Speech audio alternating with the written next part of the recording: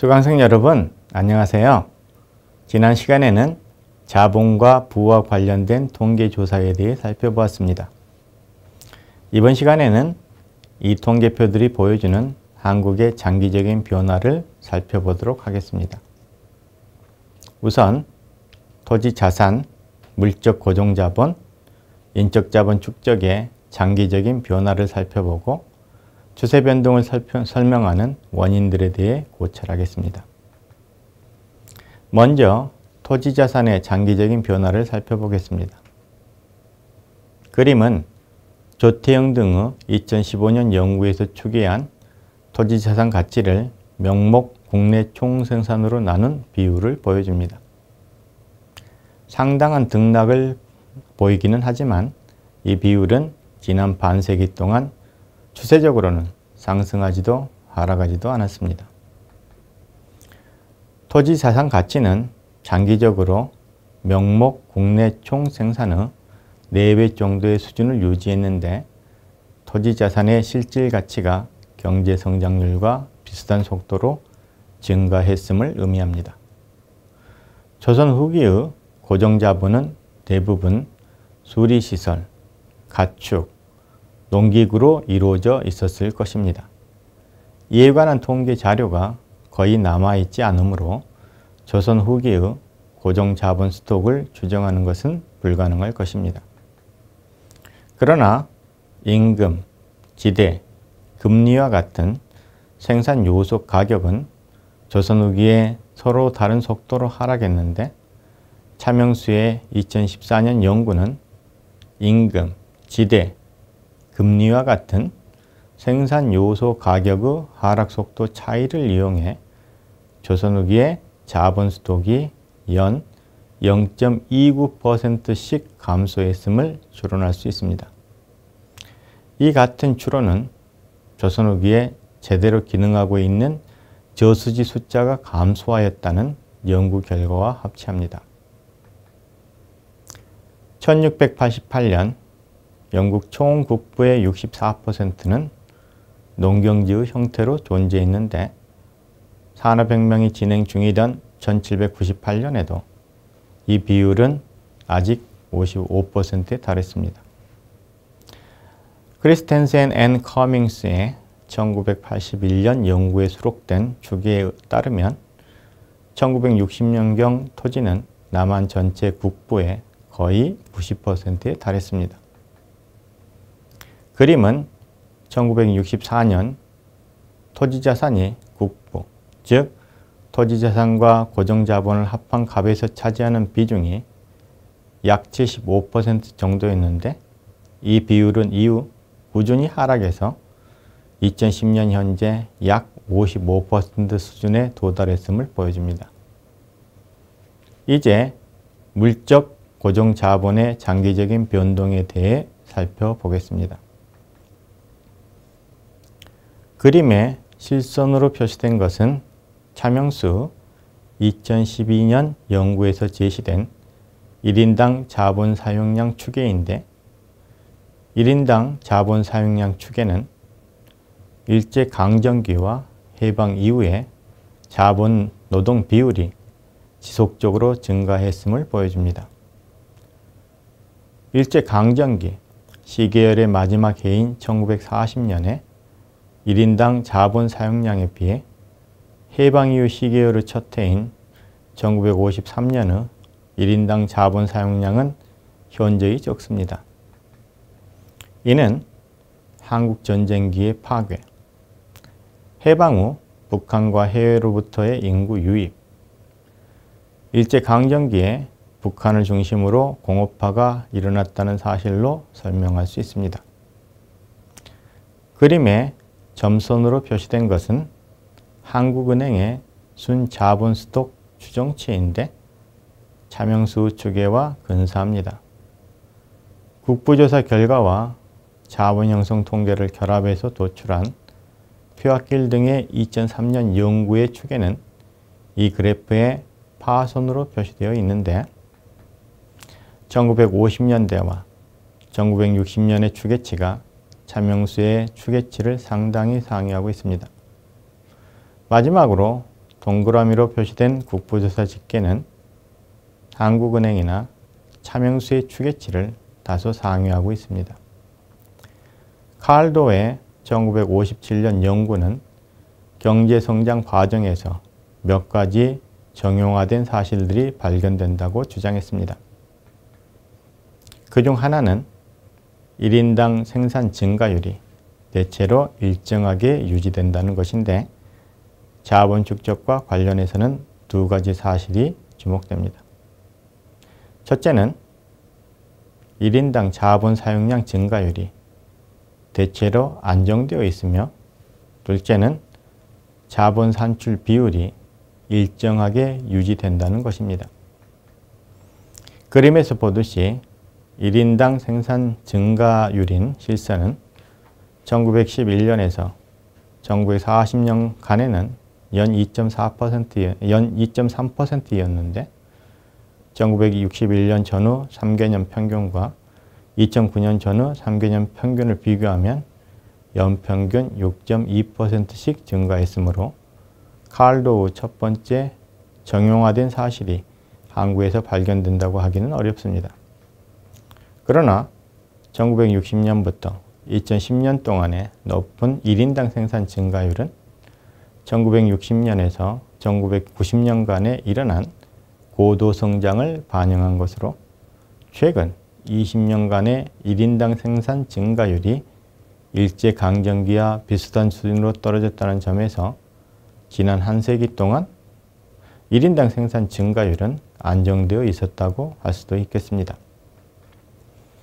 그림과 같이 제시된 1인당 자본 사용량 증가율인 점선은 1인당 생산 증가율을 상회하면서 이와 비슷한 추세를 따르고 있습니다. 즉, 일제강점기에 비해 고도 성장기에 현저히 높아졌던 1인당 자본 사용량 증가율은 최근 다시 일제강점기의 수준으로 되돌아온 것입니다. 그림은 명목 자본 스톡을 명목 GDP로 나누어 구한 자본 산출 비율의 추세를 보여줍니다. 일제강점기에 자본 산출 비율은 꾸준히 증가했는데 해방과 한국전쟁을 거치면서 자본 산출 비율은 일제강점기 초기 수준으로 되돌아갔습니다. 이후 반세기 이상에 걸쳐 12배 이상 증가했는데 이는 자본 산출 비율이 일정하게 유지된다는 칼로우의 정형화된 사실과 다릅니다. 솔로우 경제성장 모델의 관점에서 보면 그림에 나타난 자본 산출 비율의 꾸준한 증가는 균제 상태로 접근해가는 과정으로 해석할 수 있습니다. 1960년 이후 반세기에 걸쳐 자본 산출 비율이 증가했는데 2000년부터 증가세가 둔화되고 있어서 균제 상태에 가까워지고 있음을 알 수 있습니다. 솔로우 모델에 따르면 저축률이 오르면 균제 상태와의 거리가 멀어지고 자본 산출 비율 증가가 계속되게 됩니다. 이는 일제 강점기와 고도 성장기에 1인당 생산 증가율이 둔화되는 경향이 나타나지 않았던 중요한 이유가 저축률의 꾸준한 상승에 있었음을 말해줍니다.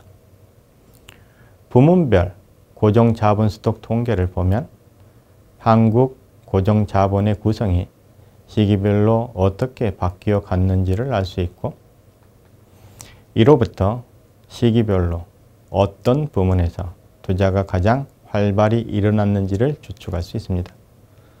이를 살펴보기 위해 이제 자본 스톡에서 농업과 제조업이 차지하는 비중의 변화를 살펴보겠습니다.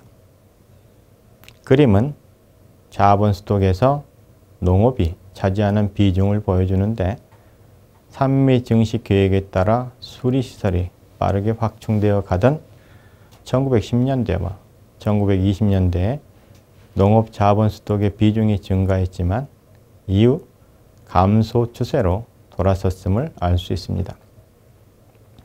아울러 해방을 계기로 농업의 비중이 급속히 상승했는데 이는 일제 강점기에 북한 지역을 중심으로 공업화와 자본 축적이 일어난 사실을 반영합니다. 그림은 자본 스톡에서 제조업이 차지하는 비중의 변화를 보여주는데 제조업의 비중은 20세기 초부터 꾸준히 증가해 오다가 최근 정체 국면에 접어들었음을 알 수 있습니다.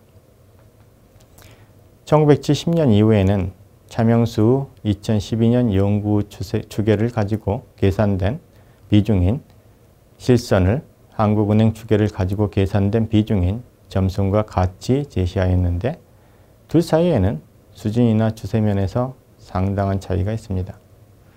그 차이가 나타나는 중요한 이유 중 하나는 차명수의 2012년 연구는 경제 전체의 감가상각률을 서로 다른 생산 부문에 대해 일률적으로 적용해서 부문별 자본 스톡을 추계한 데 비해 한국은행은 부분별로 다른 감가상각률을 추정해서 부문별 자본 스톡을 계산했기 때문이라고 짐작됩니다.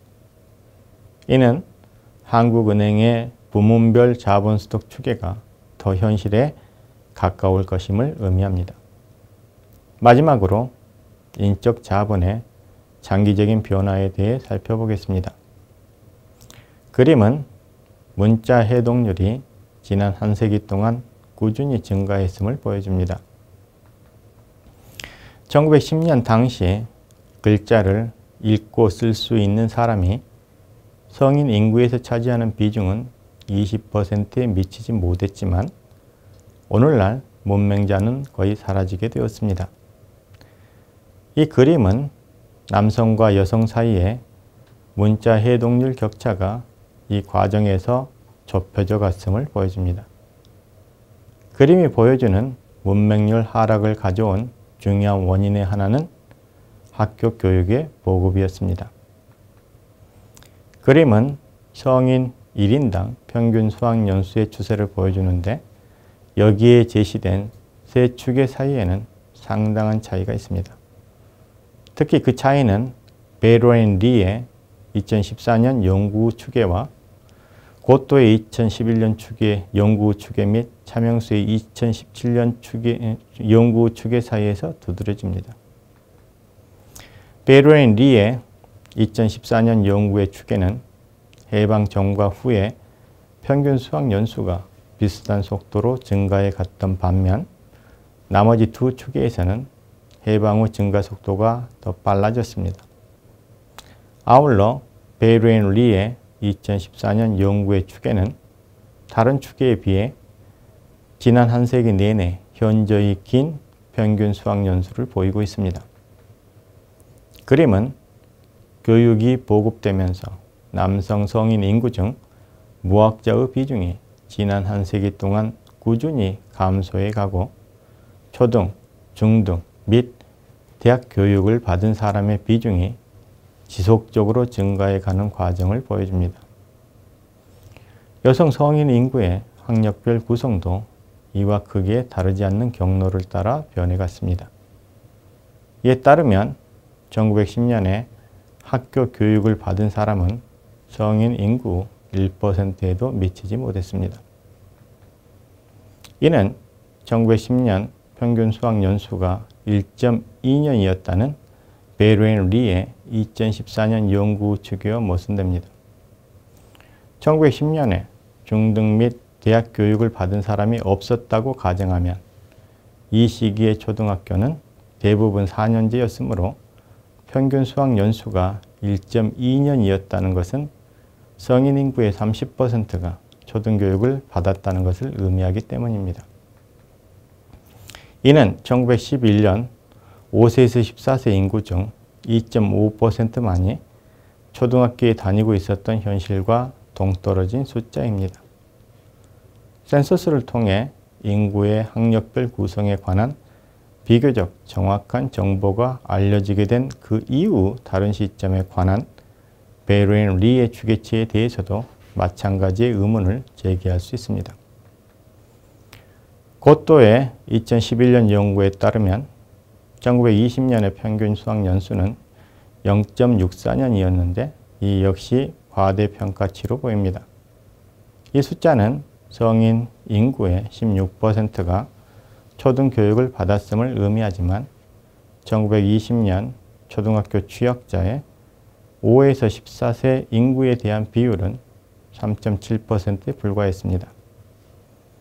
그림은 15세 이상 남성 인구의 학력별 구성과 임금장에서 소개한 학력별 임금 격차를 결합해서 추계한 노동의 질 지수를 보여줍니다.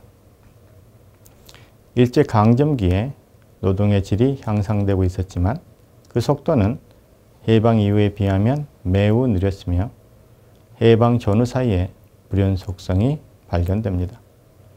그림은 노동의 질 지수와 1인당 고정자본 사용량 사이 간의 비율의 추세를 보여줍니다. 20세기는 인적 자본의 시대라고 하지만 이 그림에 나타난 하락 추세는 물적 자본이 인적 자본보다 빠르게 축적되어 갔음을 알려줍니다. 해방을 계기로 인적, 물적 자본 비율은 급상승했는데 이는 분단과 한국 전쟁의 결과 1인당 자본 사용량이 감소하고 교육 확산의 결과 인적 자본 축적이 가속된 결과입니다.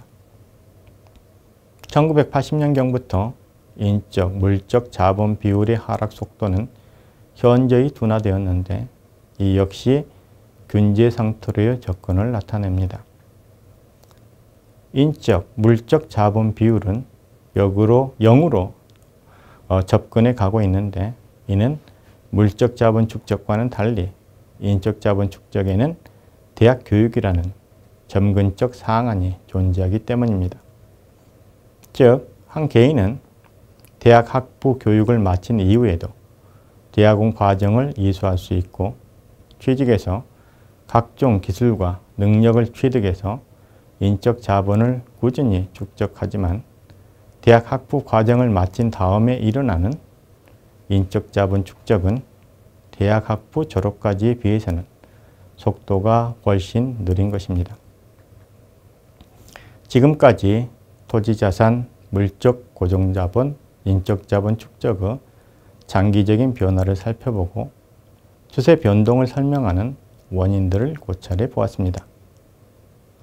다음 시간에는 자본 스톡 추계 방법에 대해 조금 상세하게 알아보는 시간을 갖도록 하겠습니다.